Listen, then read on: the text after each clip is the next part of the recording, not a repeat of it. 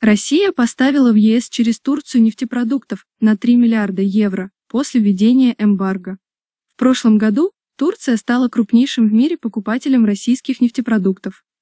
Страна получила в общей сложности 18% дизеля, газоиля, авиакеросина и другой переработанной продукции, вывезенной из России по морю.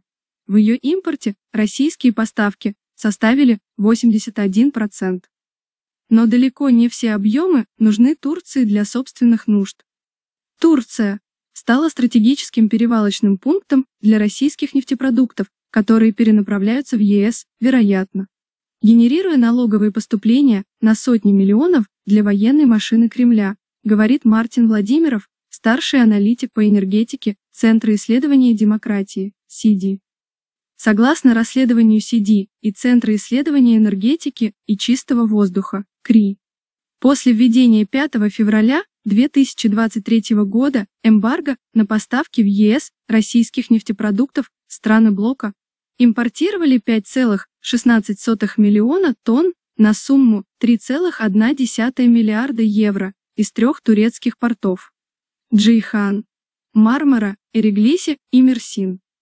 Однако в этих портах нет перерабатывающих мощностей. За тот же период 86% их собственного импорта нефтепродуктов в денежном выражении пришлось на Россию. Анализ конкретных поставок свидетельствует, что европейские компании могли покупать российские нефтепродукты, смешанные в нефтехранилищах в турецких портах или просто реэкспортированные, говорится в докладе CD и CRI. Например, в мае 2023 год.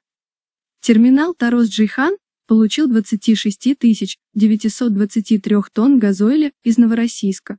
Через 10 дней такой же объем газоиля был отправлен с этого терминала на греческий нефтеперерабатывающий завод МОУ «Корант».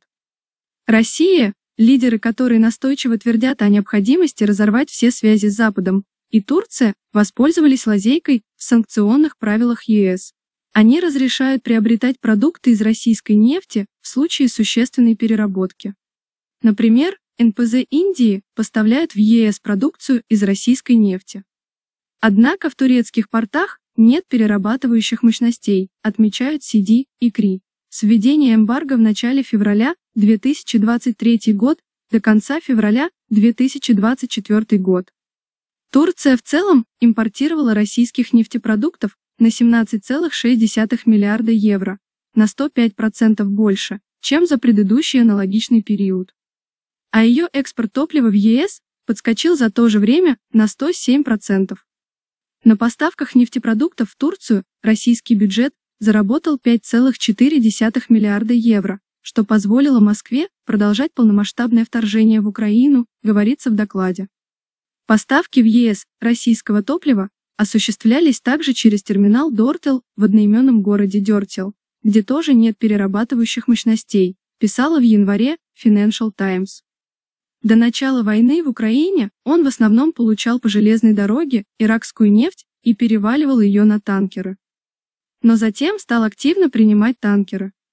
С января по ноябрь 2023 год он получил из России 9,2 миллиона баррелей, почти 90% всех морских поставок, выяснила аналитическая компания Кплер. Часть этого топлива приобрела греческая Motor Oil Hellas. Она ранее официально прекратила работать с поставками из России, так как имела контракты с Пентагоном. Но российские баррели продолжали заливаться в американские боевые корабли и самолеты на европейских базах, так как поступали на НПЗ компании, меняя по пути владельцев и смешиваясь в хранилищах Дортел с топливом из других стран.